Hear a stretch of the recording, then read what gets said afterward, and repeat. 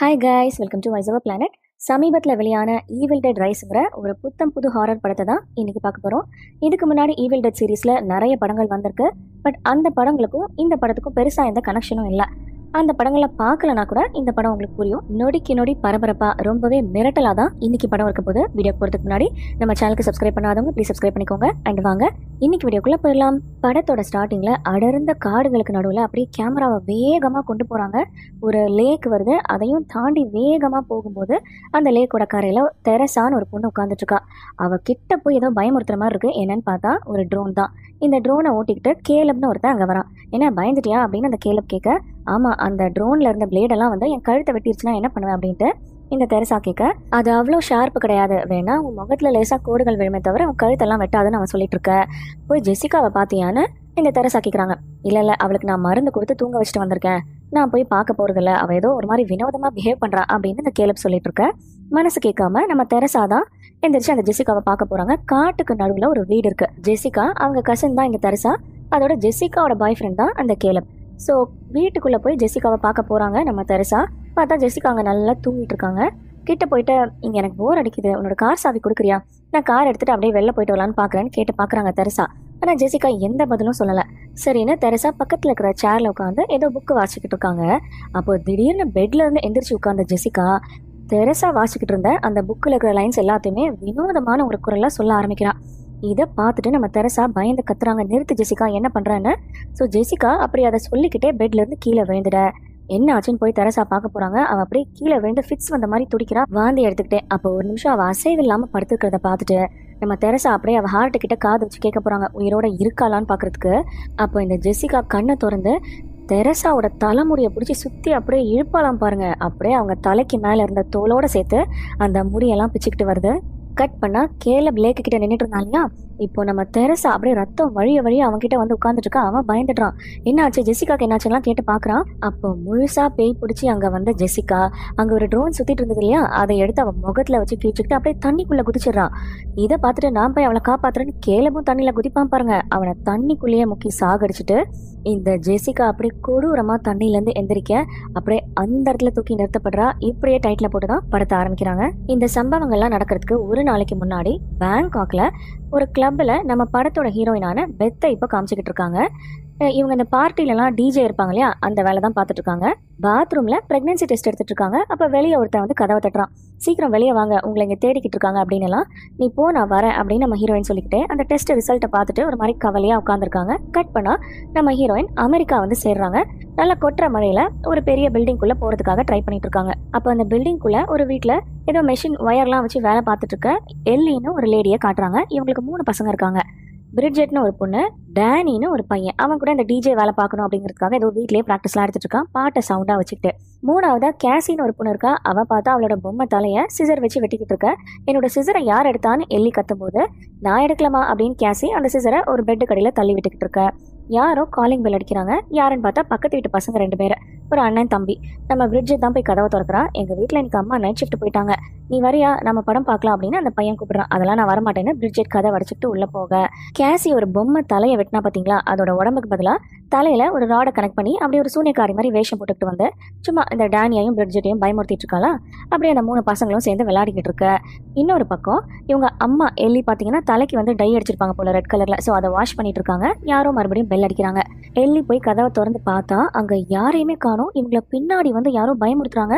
யாருன்னு பார்த்தா நம்ம ஹீரோயின் பெத் தான். நம்ம ஹீரோயினோட அக்கா தான் இந்த எல்லி ஸோ அப்படியே வீட்டுக்குள்ள வரும்போது நம்ம ஹீரோயின் கேட்குறாங்க என்ன வீட்டுக்கு வெளியே செக்யூரிட்டி சிஸ்டம்லாம் இல்லையா? அப்படியே கதவு திறந்தே இருந்தது. நான் பாட்டு பில்டிங்குள்ளே வந்துட்டேன். என்ன இது? அப்படின்னு கேட்டுட்டு வரேன்.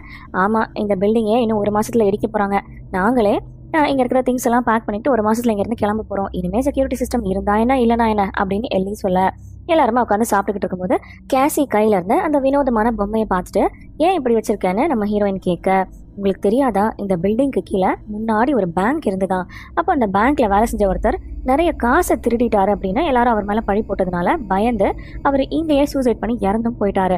அதுக்கப்புறம் அவரோட ஆவி இங்கே தான் சுற்றிக்கிட்டு வருது. அவரை பயமுறுத்த தான் நான் இந்த பொம்மையை செஞ்சு வச்சிருக்கேன்னு அவர் சொல்ல பேயெல்லாம் யாரும்மா கண்ணால் பார்த்துருக்கா? இன்னுமா இதெல்லாம் நம்பிக்கிட்டு இருக்க? அப்படின்னு நம்ம கேசிக்கு ஒரு பிரேஸ்லெட் கிஃப்டாக கொடுக்குறாங்க ஹீரோயின் எங்கே அவங்க அப்பா? அவருக்கும் நான் ஒரு கிஃப்ட் வாங்கிட்டு வந்திருக்கேனேன்னு சொல்லிக்கிட்டு இருக்க.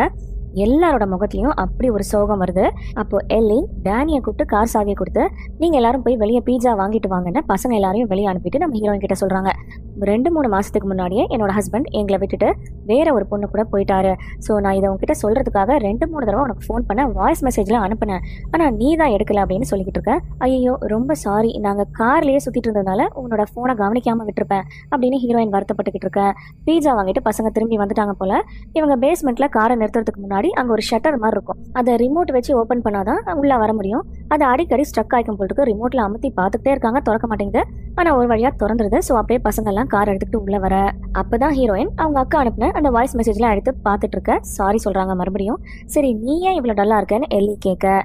நான் எப்பயும் பண்ணுற அதே தப்பை தான் இந்த தடவையும் பண்ணியிருக்கேன் நீ தான் எனக்கு ஹெல்ப் பண்ணணும்னு நம்ம ஹீரோயின் சொல்லிக்கிட்டு இருக்க. அவங்க பாத்ரூமில் இருக்கிற பொருட்கள்லாம் ஒரு மாதிரி ஆட ஆரம்பிக்குது. அங்கே பேஸ்மெண்ட்டில் பசங்க எல்லாம் காரை விட்டு வெளியே இறங்கி வர கேசி அங்கே ஒரு பெரிய ட்ரக் இருக்குது அதையே பார்த்து ஒரு மாதிரி பயந்து நின்றுக்கிட்டு இருக்கா. அப்போ கரெக்டாக இவங்களுக்கும் பார்த்தீங்கன்னா அந்த பூமி அதிர்ற மாதிரி தெரியுது. என்னன்னு பார்த்தா நிலநடுக்கம் வந்திருக்கு. ஸோ பசங்க மூணு பேரும் சேஃபாக ஒரு இடத்துல உட்காந்துக்கிட்டு இருக்க. இந்த நிலநடுக்கத்தால் தரையெல்லாம் அப்படியே விரிசல் விட்டு ஒரு நிமிஷம் புழக்க ஆரம்பிக்குது. இப்போ இது முடிஞ்சதுக்கப்புறமா டேனி மட்டும் பொறுமையாக எந்திரிச்சு வந்து பார்க்கும்போது தரையில் ஒரு பெரிய ஹோலே இருக்கு. இதை பிரிட்ஜெட்டையும் கேசியையும் கூப்பிட்டு காட்டுறான். அப்போ டேனி அந்த ஹோலுக்குள்ள டார்ச் அடிச்சு பார்த்துட்டு இருக்க இந்த பில்டிங்க்கு கீழே ஒரு பேங்க் இருந்ததுன்னு சொன்னாங்க இல்லையா? ஸோ அந்த பேங்க்கோட ஒரு பெரிய லாக்கர் அங்கே இருக்கு போல் இருக்கு. ஸோ அதை பிரிட்ஜெட் கிட்ட சொல்லிக்கிட்டு நான் இதுக்குள்ளே இறங்கி போக போறேன்னு டேனி இறங்கி போயிடுறான். அப்போ கூட பிரிட்ஜித் சொல்றான் வேண்டாம் அப்படி போகாதுன்னு. ஆனால் அவன் கேட்கல உள்ள நிறைய சின்ன சின்ன லாக்கர் இருக்குது எல்லாத்துலேயும் காசு இருக்கும்னு நினச்சி திறந்து பார்த்தா எந்த லாக்கர்லேயும் உள்ள ஒன்றுமே இல்லை. ஸோ அப்போ பக்கத்தில் ஒரு பெரிய பொட்டி ஒன்று இருக்குது அதை திறந்து பார்த்தா நிறைய ஃபைல் இருக்குது ஒரு மூணு சர்ச் ஃபாதரோட ஃபோட்டோ இருக்குது அதுக்கப்புறமா ஒரு பெரிய இந்த பழைய காலத்தில் கிராம ஃபோன்லலாம் போடுவாங்க பார்த்தீங்களா பெரிய சீடி மாதிரி இருக்குமே. அந்த மாதிரி மூணு சீடி இருக்குது இவன் தான் டிஜே ஆக ப்ராக்டிஸ் பண்ணுறான் இல்லையா? ஸோ அதெல்லாம் அவன் பேக்கில் எடுத்து வச்சுக்கிட்டு இருக்க. இவனுக்கு பின்னாடி ஏதோ சத்தம் கேட்குது சீடியை பேக்கில் வச்சுட்டு திரும்பி பார்த்தா ஒரு பெரிய ஜீசஸோட சிலை அப்படியே வந்து இவன் மேலே விழுற மாதிரி இருக்குது ஆனால் இவன் தப்பிச்சிடுறான். அப்போ மறுபடியும் டார்ச் அடிச்சு உள்ளே பார்த்தா நிறைய சிலுவைகள் அப்புறம் காசு அப்படி கட்டி தொங்க விடப்பட்ட மாதிரி ஒரு இடம் இருக்குது அதுக்கு கீழே ஒரு பெரிய சமாதி மாதிரி ஒன்று இருக்கு. வெள்ளை கலர்ல செஞ்சு வச்சிருக்காங்க. அந்த சமாதி ஒரு இடத்துல உடஞ்சிருக்கு. அந்த உடஞ்ச இடத்துல டார்ச் அடிச்சு பார்த்தா அங்க துணியில எதையோ சுத்தி வச்சிருக்காங்க. அது என்னன்னு எடுத்து இப்போ மேல வச்சு பார்க்குறான். அந்த துணியே ஒரு மாதிரி அசையுது. லேசா அந்த துணியை திறந்து அதுல இருந்து அவ்வளோ பூச்சிங்க பறந்து போக அந்த துணிக்குள்ள இருந்தது இப்படி வினோதமான ஒரு புக்கு அப்ப பசங்களை இன்னும் காணோன்னு பயந்து போய் நம்ம ஹீரோயின் ஃபோன் பண்ணி பார்த்துக்கிட்டு இருக்க. எல்லி எதிர்த்த வீட்டு கதவை போய் தட்டிக்கிட்டு இருக்காங்க. அப்போ இவங்களுக்கு பக்கத்து வீட்ல இருந்து கேப்ரியல் ஒருத்தன் வெளியே வரான். என்னாச்சு? எர்த்குவேக் வந்ததே நீங்க எல்லாம் ஓகேவா அப்படின்னு கேட்டு எங்கள் பசங்க இப்படி வெளியே போனாங்க. என்னாச்சு நான் பார்க்கணும். உன் கார் சாவியை கொடுன்னு எல்லி கேட்டுக்கிட்டு இருக்கேன். நானே உங்க கூட வரேன்னு உள்ள போய் அவன் கார் சாவி எடுக்க போகிறான் அதே நேரத்தில் எதிர்த்து வீட்டு கதவை தட்டினாங்க இல்லையா? அங்கேருந்து ஒரு தாத்தா வராரு. நானே என் பூனைக்குட்டியை காணும் தேடிக்கிட்டு இருக்கேன். அநேகமாக இந்த ஏர் டக்ட் அதாவது ஏசி வெண்ட் மேலே இருக்கும் இல்லையா? ஸோ அங்கே தான் போய் ஒளிஞ்சிக்கிட்டு இருக்கும்னு நினைக்கிறேன். அப்படின்னு இவர் சொல்லிட்டு போக. அப்போ கேப்ரியல் கார் சாவி எடுத்துட்டு வர அதுக்குள்ள பசங்க லிஃப்ட்ல வந்துடுறாங்க. நிலநடுக்கம் வர டைம்ல லிஃப்ட்ல வரக்கூடாது நான் சொல்லியிருக்கேன்ல அப்படின்னு எல்லி போய் பசங்களை கட்டி பிடிச்சி வீட்டுக்குள்ள கூட்டிட்டு வர. டேனி அந்த வினோதமான புக்கு கிடைச்சது இல்லையா? அதை இப்போ பிரிட்ஜெட் கிட்ட காமிச்சிக்கிட்டு இருக்கான் எதுக்குடா இந்த மாதிரி புக்கெல்லாம் வீட்டுக்கு கொண்டு வரேன் அப்படின்னு பிரிட்ஜெட் கேட்க அந்த புக்கை டேனி திறக்க ட்ரை பண்ணிட்டு இருக்கான் பட் அந்த புக்கை திறக்கிற இடத்துல பார்த்தீங்கன்னா ஒரு மாதிரி முள்ளு முள்ளா போட்டு மூடி வச்ச மாதிரி இருக்கு திறக்க முடியல. அப்போ அந்த முள்ளில் பட்டு நம்ம டேனியோட கையை லேசாக கிழிஞ்சிட அவனோட ரத்தம் ஒரு சில சொட்டு அந்த புக்கு மேலே விழுது. அப்படியே அந்த புக்கு அதை இழுத்துக்குது அந்த ரத்தத்தை இப்போ அந்த புக்கு தன்னால திறக்குது. அதுக்குள்ள பார்த்தா ரொம்பவே வினோதமான கொடூரமான உருவங்கள் அப்படியே வரைஞ்சி வச்ச மாதிரி இருக்கு. பேஜ் பேஜா திருப்ப திருப்ப நம்ம பிரிட்ஜெட்க்கு ரொம்பவே பயமாகுது. இதை மூடி வை அப்படின்னு அவ அதை மூடிக்கிட்டு அங்கிருந்து வெளியே போகும்போது சொல்றான் இங்க பாரு இந்த புக்கை எடுத்த இடத்துல தயவு செஞ்சு வச்சிரு. எதையாவது பிரச்சனையை எழுத்து விட்றாத அப்படின்னு டேனியை பார்த்து சொல்ல இப்பதான் அம்மா வெளியே போகக்கூடாதுன்னு சொல்லியிருக்காங்களே நான் நாளை காலைல வச்சிடுறேன் அப்படின்னு டேனி சொல்ல பிரிட்ஜெட் போயிடுறாளாம். ஆனா அவன் அந்த புக்கை திறந்து மறுபடியும் பார்த்துட்டு இருக்கான். அது மட்டும் இல்லாமல் அங்கே மூணு சீடி எடுத்தான்னு சொன்னோம் இல்லையா? அதில் ஃபர்ஸ்ட் சீடி எடுத்து இப்போ அந்த பிளேயரில் போட்டு கேட்டுக்கிட்டு இருக்கான் ஸ்பீக்கரில் கனெக்ட் ஆயிருக்கு. அதில் ஒரு சர்ச் ஃபாதர் அவர் கூட இருக்கிற மற்ற ஃபாதருங்க கிட்ட பேசுகிற மாதிரி இருக்கு. என்னன்னு பார்த்தா இந்த புக்கை கொஞ்ச நாளைக்கு முன்னாடி தான் எங்கள் ஆளுங்க சில பேர் கொண்டு வந்து என்கிட்ட கொடுத்தாங்க. நான் டெஸ்ட் பண்ணி பார்த்த வரைக்கும் பதப்படுத்தப்பட்ட மனிதர்களோட சதையிலிருந்து தான் இந்த புக்கை வந்து தயாரிச்சிருக்காங்க. அது மட்டும் இல்லாமல் இதில் மனித ரத்தத்தால் தான் இந்த வரைபடங்கள்லாம் வரைஞ்சி வச்சுருக்காங்க. ஸோ இந்த புக்கு தான் நெட்டூரம் டிமாண்டோ அப்படின்னு சொல்லப்படுற இறந்தவர்களுடைய புத்தகம். ஸோ இதில் ஒளிஞ்சிருக்கிற பல மர்மங்களை நான் வெளியே கொண்டு வரணும்னு பார்க்குறேன் மேற்கொண்டு அதை பற்றி ஆராய்ச்சி செய்யணும்னு பார்க்குறேன் ஸோ அதுக்கு நீங்கள் தான் எனக்கு ஹெல்ப் பண்ணணும்னு கேட்டு பார்க்குறாரு ஆனால் கூட இருந்தவங்கலாம் கத்துறாங்க. இப்படி இந்த மாதிரி ஒரு புக்கு இங்கே கொண்டு வருவேன் அப்படின்ட்டுலாம் இப்படியே ஃபஸ்ட்டு சீடி முடியுது. ரெண்டாவது சீரி எடுத்து போட்டால் அதுல அந்த ஃபாதர் மட்டும் பேசுறாரு. என் கூட இருந்தவங்க யாருமே இந்த ஆராய்ச்சிக்கு ஒத்துக்கல. அதனால நானே அந்த புக்கை திறந்து அதுல இருக்கிறது எல்லாத்தையுமே வாசிச்சு பார்க்க போறேன் அப்படின்னு சொல்லிக்கிட்டு இருக்கேன் அதே நேரத்துல நம்ம எல்லி அவங்க ஹஸ்பண்டோட திங்ஸ் எல்லாம் வீட்டில் இருந்தது இல்லையா? அதெல்லாம் பேக் பண்ணி அவங்க காரில் கொண்டு வைக்கலாம் அப்படின்னு கார் சாவி எடுத்துக்கிட்டு லிஃப்ட்டை நோக்கி போயிட்டு இருக்காங்க. அப்போ அந்த சீடியில் ஃபாதர் நாலு வார்த்தை வேற ஒரு லாங்குவேஜில் கொடூரமான ஒரு வாய்ஸில் சொல்ல ஆரம்பிக்க இதை கேட்டு நம்ம டேனி ஒரு நிமிஷம் பயப்படுறான். அதே நேரத்தில் நமக்கு காட்டுறாங்க அந்த பில்டிங் பேஸ்மெண்ட்டுக்குள்ளே ஏதோ வேகமாக ஒன்று லிஃப்ட் நோக்கி வந்துக்கிட்டு இருக்க கரெக்டாக அந்த வார்த்தைகளை இந்த ஃபாதர் சொல்லி முடிக்கவும் அங்கே லிஃப்ட் திறக்கவும் நம்ம எல்லி லிஃப்ட்டுக்குள்ளே வந்துட்டு இருந்தாங்க இல்லையா? அந்த லிஃப்ட்டை திறக்கவும் அவங்கள வந்து வேகமாக ஏதோ ஒன்று அட்டாக் பண்ணுது. அப்படியே லிஃப்ட்டில் தூக்கி நிறுத்துது அவங்கள மேலேயும் கீழேயும் தூக்கி போட்டு அடிச்சுக்கிட்டு இருக்க. அந்த லிஃப்ட் மறுபடியும் மேலே போக அப்படியே எல்லை கீழே மயங்கி விழுந்துடுறாங்க. எந்திரிச்சு பார்த்தா அந்த லிஃப்ட்டோட கதவை உட்டில் தான் பண்ணி வச்சுருக்காங்க. ஒரு சின்ன கண்ணாடியால் ஆன ஒரு இடம் மட்டும் இருக்குது அதில். ஸோ அந்த கண்ணாடி வழியாக நம்ம எல்லி கத்தி பார்க்குறாங்க வெளியே யாராவது இருக்கீங்களா அப்படின்ட்டுலாம் யாருமே இல்லை. அவங்க கையில் இருந்த கார் சாவியை வச்சு அந்த லிஃப்ட்டை திறக்க ட்ரை பண்ணுறாங்க பாருங்கள் பின்னாடி ஏதோ சத்தம் கேட்டு அந்த சாவியை அங்கேயே போட்டுட்டு அப்படியே மெதுவாக பின்னாடி வராங்க. அப்போ யாரோ இவங்க முடிய கூதி விட்டு இவங்க காதில் போட்டிருக்கிற அந்த கம்மலை பிடிச்சி இழுத்துட இவங்க வழியில் துடிச்சிக்கிட்டு இருக்க பின்னாடி யாரோ இருக்கிற மாதிரி இருக்குன்னு லேசாக திரும்பினா யாரோ தலையில அடிக்கிறாங்களாம் பாருங்க. அப்போ மேலேருந்து ஒரு கயிறு வந்து இவங்க கழுத்தில் சுற்றி அப்படியே தூக்கில் தொங்குன மாதிரி இவங்களை தூக்கி நிறுத்திக்கிட்டு இருக்க. ரெண்டு கை ரெண்டு கால்லையுமே ஒரு ஒரு பக்கம் கயிறு கட்டி யாரோ இழுத்த மாதிரி இருக்கு. அப்படியே இப்படி அந்த இடத்துல தொங்கிக்கிட்டு இருக்காங்க.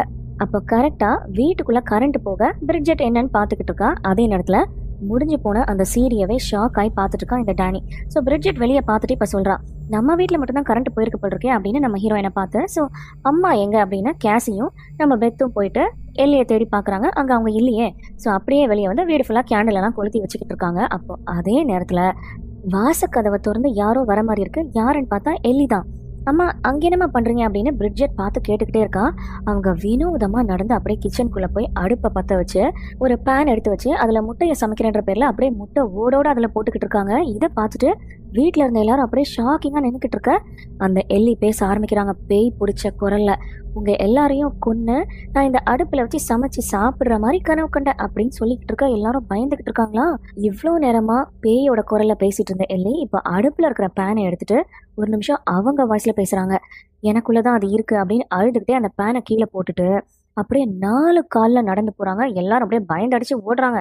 நடந்து போய் என்னமோ வாயில பைப்பு வச்சு அடிச்ச மாதிரி வாந்தி எடுக்கிறாங்க இந்த எல்லி அப்படி வாந்தி எடுத்துக்கிட்டே சொல்றாங்க என் குழந்தைங்கள பார்த்துக்கோ அப்படின்னு நம்ம ஹீரோயினை பார்த்து அப்படியே சொல்லிக்கிட்டே அப்படியே மயங்கி கீழே விழுந்துட அவ்வளோதான் பிரிட்ஜெட்டையும் இந்த கேசியையும் வீட்டில் விட்டுட்டு நம்ம ஹீரோயினும் டேனியும் எல்லியை தூக்கிக்கிட்டே அப்படியே ஹாஸ்பிட்டல் போகலாம்னு நினைச்சாங்க போல் இருக்கு. லிஃப்ட் கிட்ட போறாங்க. லிஃப்ட் பார்த்தா வேலை செய்யல. ஒரு மாதிரி கதவு மூடி மூடி திறந்துகிட்டு இருக்கு. சரி படிக்கட்டு என்னாச்சுன்னு போய் பாருன்னு டேனி கிட்ட சொல்லிக்கிட்டு ஹீரோயின் எல்லியை பார்த்தா அவங்க வாயிலேருந்து நுரையா வந்துகிட்டு இருக்கு. டேனி என்னாச்சுன்னு ஹீரோயின் கத்த?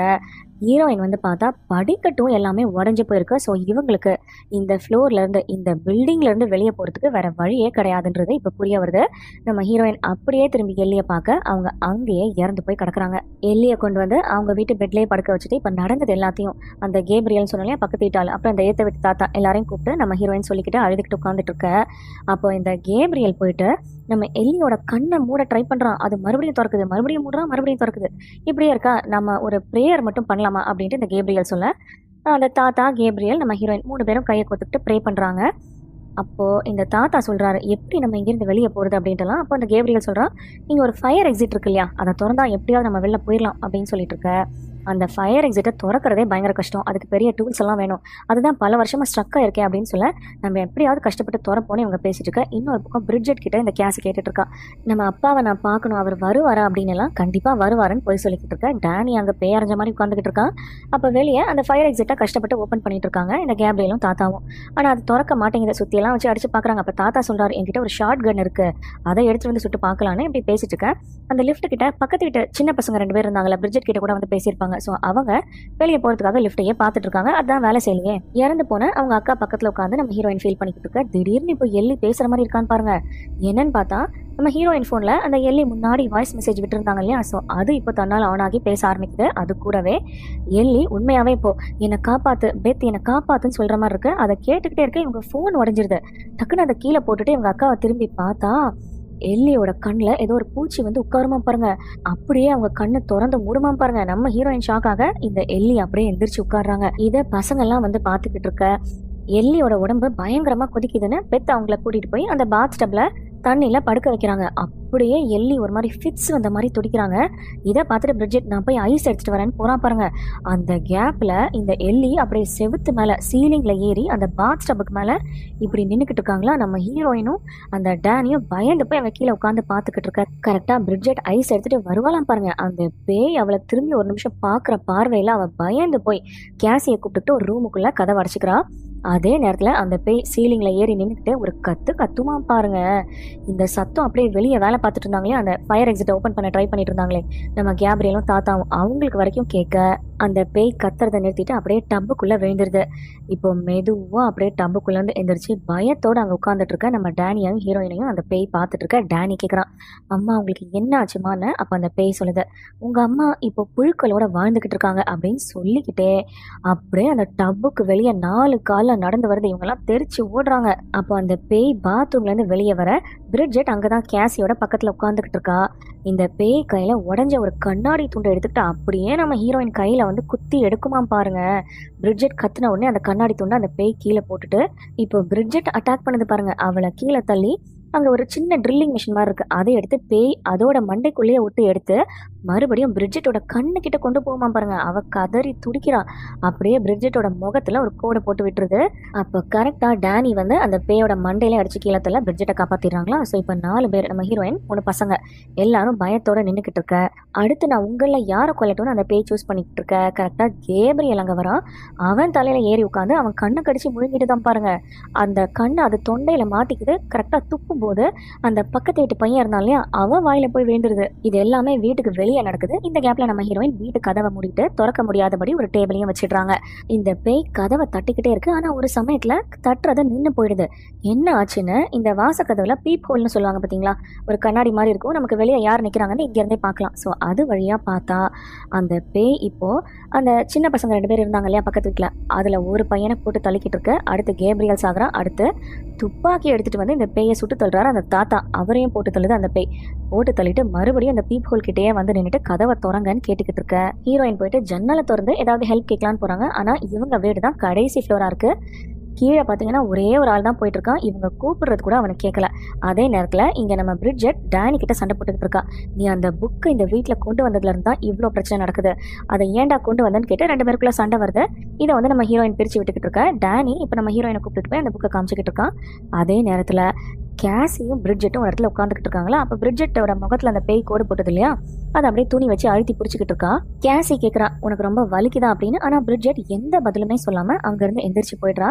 கேசிக்கே ஒரு மாதிரி பயமாக இருக்குது பிரிட்ஜெட்டை பார்க்க. அப்போ இவங்க அம்மா பாட்டு பாடுற சத்தமும் கேசிக்கு கேட்குது ஹீரோயினும் டேனியும் ஒரு பக்கம் புக்கை திறந்து பார்த்துட்டு இருக்க. கேசி அவங்க அம்மாவோட பாட்டு பாடுற வாய்ஸ் கேட்குதுன்னு அதை நோக்கி போயிட்டு இருக்கா. இன்னொரு பக்கம் பிரிட்ஜெட் கிச்சனுக்கு போய் அடுப்பு ஆன் பண்ணி வச்சுட்டு அந்த லைட்டில் கண்ணாடியில் இவளுக்கு முகத்தில் அந்த அடிப்பட்டது இல்லையா? அதை லேசாக துணி எடுத்துட்டு பார்க்குற ஒரு மாதிரி கருப்பு கலரில் இருக்கு. டேனி ஹீரோயின் கிட்ட அந்த சீடியை பற்றி அதில் வந்த வார்த்தைகளுக்கு அப்புறமா தான் இப்படி நடந்தது. அதை பற்றியெல்லாம் சொல்லிக்கிட்டு இருக்க இங்கே பிரிட்ஜெட்டுக்கு அடிப்பட்டது இல்லையா? அந்த இடத்த சுற்றி ஒரு மாதிரி விரிசல் விட ஆரம்பிக்குது. இவ பேரையுமே யாரோ கொடூரமாக கூப்பிடுற மாதிரி இருக்கு. திரும்பி திரும்பி பார்த்து பயந்துக்கிட்டு இருக்க. இவளோட கண்ணு காது மூக்கு எல்லாத்துல இருந்தும் ஏதோ கருப்பு கலரில் லிக்விட் மாதிரி வந்துட்டு இருக்க. இவ ரொம்பவே பயந்துடுறா. அதே நேரத்தில் கேசி வாசக்கதவு கிட்ட போய் எட்டி அந்த பீப் ஹோல் வழியாக பார்க்குறா அம்மாவை அந்த பேய் பார்த்தீங்கன்னா அப்படியே திரும்பி உட்காந்துட்டு இருக்கு அப்பா வந்திருக்காருமா கதவை திறந்து விடு அப்படின்னு கேசி கிட்ட சொல்லிக்கிட்டு இருக்க. இங்கே பிரிட்ஜெட் தண்ணியெல்லாம் குடிச்சு துப்பி பார்க்குறா அவள் வாயிலிருந்து புழுவாக வந்து விழுது. அதே நேரத்தில் கேசி நம்ம அம்மா தான் பேசுகிறாங்கன்னு நம்பி அந்த வாசக்கதவை திறப்பாலாம் பாருங்க. அந்த கொஞ்சோண்டு கேப்பில் அந்த பேய் அப்படியே கேசியோட கழுத்தை நெரிச்சு அந்த இடத்துல நிறுத்திக்கிட்டு இருக்கு. இந்த சத்தத்தை கேட்டு நம்ம ஹீரோயினும் டேனியும் வந்து கேசியை காப்பாற்றி அந்த பேயை மறுபடியும் வெளியே தள்ளி கதை அடைக்கிறாங்க. பேய் உக்கிரமா கத்திக்கிட்டு இருக்கு. கதவை திறங்கன்னு டேனியும் கேசியும் இப்போ அவங்க ரூமில் உட்காந்து பயந்துகிட்டே இருக்காங்க. அப்போ கேசி சொல்கிறான் நீ ரொம்ப பயப்படாத என்னோட பொம்மை நம்மளை காப்பாற்றிடும் அப்படின்ட்டுலாம் அவங்களுக்கு ஏதோ சத்தம் கேட்குது என்ன சத்தம்னு ஹீரோயினும் கிச்சனில் போய் பார்த்தா கிச்சனில் இருக்கிற சாமான்லாம் அப்படியே கீழே விழுந்து கிடக்குது. என்னன்னு பார்த்தா அந்த பிரிட்ஜெட் இப்போ கிச்சனுக்கு மேலே அந்த அடுப்புக்கு பக்கத்தில் ஏறி உட்காந்துக்கிட்டு மேலே எங்கேயோ வெறிச்சு பார்த்துக்கிட்டு இருக்கா. என்னம்மா பார்க்குற? அப்படின்னு ஹீரோயின் கேட்க மறுபடியும் அவள் கீழே குனிஞ்சு எதையோ கருக்கு முறுக்குன்னு சாப்பிட்டுக்கிட்டு இருக்கா. என்னன்னு பார்த்தா அந்த பிரிட்ஜெட் அப்படியே திரும்புறா. கையில ஒரு கண்ணாடி கப்பை வச்சு கடிச்சு சாப்பிட்டுட்டு இருக்கா. அதை முழுங்கும் போது அப்படியே அவ தொண்டையை கீழ்ச்சிக்கிட்டு அந்த கண்ணாடி அவள் வயிற்றுக்குள்ளே போகுது. இதை பார்த்து ஹீரோயின் பயந்துகிட்டு இருக்க கீழே விழுந்துடுறாங்களா? பிரிட்ஜெட் சொல்றா என் வயத்துக்குள்ள புழுவா இருக்கு அதான் இதெல்லாம் சாப்பிட்டா அதுங்க செத்துடும்ல அப்படின்னு நம்ம ஹீரோயினை வந்து பிடிச்சி அந்த கேரட்லாம் திருவுவாங்க பார்த்தீங்களா அதை எடுத்து நம்ம ஹீரோயின் கையிலேயே அப்படியே திருவுற மாதிரி பண்ணுறா அவங்க கையெல்லாம் அப்படியே கோடு கூட விழுந்துருது. எப்படியோ நம்ம ஹீரோயின் பக்கத்தில் இருந்த ஒரு சட்டி எடுத்து அந்த பிரிட்ஜெட் தலையில் அடிக்க அவள் கீழே விழ கரெக்டாக டேனியும் வந்து இதை பார்த்துட்ருக்கான். கண் முழிச்சு நம்ம பிரிட்ஜை டேனியை துரத்துக்கிட்டு போகலாம் பாருங்க. அவன் அந்த கேசி இருக்கிற ரூம்குள்ளே போயிடுறான். அங்கே கேசியை போய் கொல்ல போகிறா பிரிட்ஜெட் அப்போ கரெக்டாக கேசியோட கையில் அந்த பொம்மை இருந்தது பார்த்தீங்களா? அதுலேருந்து அந்த ராட் அப்படியே பிரிட்ஜெட் வாய் வழியாக குத்தி தலைக்கு பின்னாடி வர அதை அவளே உருவி எடுத்துட்டு அங்கேயே கீழே விழுந்து இறந்து போறா. கேசிக்கு தைரியம் சொல்லிக்கிட்டு ஹீரோயின் பிரிட்ஜெட்டை வந்து பார்க்க வராங்க. அவள் பணத்தை காணும். என்னன்னு பார்த்தா டேனி தான் சொல்கிறான் அவள் பணத்தை பெட்ஷீட்டில் சுற்றி அப்படியே பெட்டோட சேர்த்து கட்டி போட்டு வச்சிருக்கான் ஏன்னா ஒருவேளை அம்மா மாதிரி மறுபடியும் இவளும் உயிரோட வந்து பிரச்சனை பண்ணானா? அதனால தான் அப்படின்னு சொல்லிட்டு இப்போ டேனி சொல்ல ஹீரோயின் சொல்கிறாங்க நீ அந்த சீடியில் மூணாவது சீடியை கேட்கலன்னு சொன்ன இல்லையா ஒருவேளை இதை சரி பண்ணுறதுக்கான வழி அந்த மூணாவது சீடியில் இருக்கலாம். நான் அதை கேட்கணும்னு சொல்ல கரண்ட் தான் இல்லையேன்னு அவன் சொல்கிறான் அதை நான் பார்த்துக்கிறேன்னு ஹீரோயின் ஒரு பேட்டரி மாதிரி செஞ்சு அந்த சீடி பிளேயரை ஓட வைக்கிறாங்க. அப்போ ஒரு கத்தி எடுத்து டைனிங் கையில் கொடுத்து நீ கேசியோட தனியாக ஒரு ரூமில் இருன்னு அந்த ரூம்குள்ளே வச்சுட்டு ஹீரோயின் வந்து அந்த சீரியை கேட்டுக்கிட்டு இருக்காங்க. ஹெட்செட் போட்டு. இன்னொரு பக்கம் அந்த எதிர்த்த வீட்டு தாத்தாவோட பூனை அந்த மேலே இருக்கிற ஏசி வெண்ட்டில் சுற்றிக்கிட்டு இருக்குன்னு சொன்னார் இல்லையா? ஸோ இப்போ அந்த சத்தம் இந்த பேய்க்கு கேட்டு அதை பார்த்து ஒரு மாதிரி சிரிச்சுக்கிட்டு இருக்க. அந்த ஏசி வெண்ட்டுக்குள்ளே ஏதோ சவுண்ட் வருதுன்னு அதை ஃபாலோ பண்ணிக்கிட்டு அவங்க இருக்கிற ரூமை விட்டு டேனியும் கேசியும் வெளியே வர. இவங்களுக்கு பின்னாடி அந்த பிரிட்ஜெட் பை அந்த பெட்ஷீட் போட்ட பை அப்படியே வந்து நின்றுக்கிட்டு இருக்க கேசியை காப்பாற்றி அவளை சோஃபா கடையில் உட்கார வச்சுட்டு நம்ம டேனி என்ன பண்ணுறான் அந்த பிரிட்ஜெட் பையை வயிற்றுலேயே குத்துறான். இவன் கையில் தான் கத்தி இருந்தது இல்லையா? அப்போ அந்த பேய் என்ன பண்ணுது? அதோட உடம்புலேருந்து கத்தியை உருவி நம்ம டேனியோட கையிலேயே சொருகுது. அதே நேரத்தில் ஹீரோயின் இந்த சீரியை கேட்டுட்டு இருந்தாங்க இல்லையா? அதில் அந்த ஃபாதர் சொல்கிறாரு நானும் இந்த புக்கை படித்து என் கூட இருக்கவங்க எல்லாரும் பேய் பிடிச்சி எனக்கு கொல்ல ட்ரை பண்ணாங்க. நான் இப்போ அவங்களுக்கு தெரியாமல் ஒரு இடத்துல ஒளிஞ்சு உட்காந்துக்கிட்டு தான் இந்த ரெக்கார்டிங்கே பண்ணிக்கிட்டு இருக்கேன். நான் அவங்கள குத்த ட்ரை பண்ணேன் அவங்கள எரிக்க ட்ரை பண்ணேன் ஆனால் அவங்க எப்படியுமே சாகலை. கடைசியாக ஒரு முடிவுக்கு வந்தேன் அவங்கள துண்டு துண்டாக வெட்டி பார்க்கலான்னு அதையும் பண்ணிட்டேன் அப்படின்னு சொல்லிக்கிட்டு இருக்கேன். அதே நேரத்தில் நம்ம ஹீரோயினுக்கு பின்னாடி இவங்க தலைமையில் இருக்கிற அந்த ஏசி வெண்ட் வழியாக அந்த பேய் வீட்டுக்கு வெளியே இருந்தது பார்த்தீங்களா எல்லி அவங்க இப்போ உள்ளே வந்துட்டாங்க. அதே நேரத்தில் டேனி கையில் அந்த பிரிட்ஜெட் வந்து கத்தியை குத்தி வச்சிருந்தா இல்லையா? இப்போ கத்தி எடுத்து டேனியோட நெஞ்சிலையும் குத்துறா. அப்போ கரெக்டாக அங்கே அடுப்பு எரிஞ்சுக்கிட்டு இருக்கா. பக்கத்தில் இருக்கிற ஒரு ஸ்ப்ரே எடுத்து அடிப்பான் இந்த டேனி. அப்படியே அந்த பிரிட்ஜெட் போய் எரிஞ்சுக்கிட்டே கீழே விழ. இங்கே ஹீரோயின் கேட்டுக்கிட்டு இருந்தாங்களே அதில் ஃபாதர் சொல்கிறாரு நீங்கள் துண்டு துண்டாக வெட்டினாலும் அந்த பேய் திரும்ப வரும். அதனால வேற வழியே கிடையாது. இருக்கிற இடத்த விட்டு எவ்வளோ தூரம் ஓட முடியுமோ ஓடிடுங்க அப்படின்னு.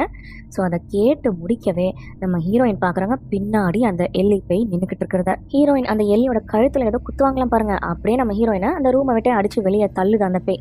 அப்போ டேனி அங்கே உயிருக்கு ஒரு பக்கம் போராடிக்கிட்டு இருக்கான். இன்னொரு பக்கம் கேசி சோஃபா கடையில் ஒளிஞ்சிட்டு இருக்கிறத நம்ம ஹீரோயின் பார்த்துட்டு டேனியை போய் பிடிச்சா அவன் அங்கேயே இறந்து போகிறான் அப்போ அந்த பேய் வந்து நம்ம ஹீரோயினை பிடிச்சி அவங்க வயித்துல குழந்தை இருக்குது அப்படி அப்படிங்கறத அந்த பேய் புரிஞ்சுக்க அவங்க வயிற்றுக்குள்ள கை விட்டு அந்த குழந்தை எடுக்க ட்ரை பண்ணிட்டு இருக்க அந்த பேய் அப்போ கரெக்டாக முதல்ல கொஞ்சம் சீன்ஸில் நம்ம கேசி ஒரு சிசரை வச்சு விளையாடிக்கிட்டு இருப்பா இல்லையா? அந்த சிசர் அவள் ஒளிஞ்சிட்டு இருக்க இடத்துக்கு பக்கத்துலேயே இருக்கு.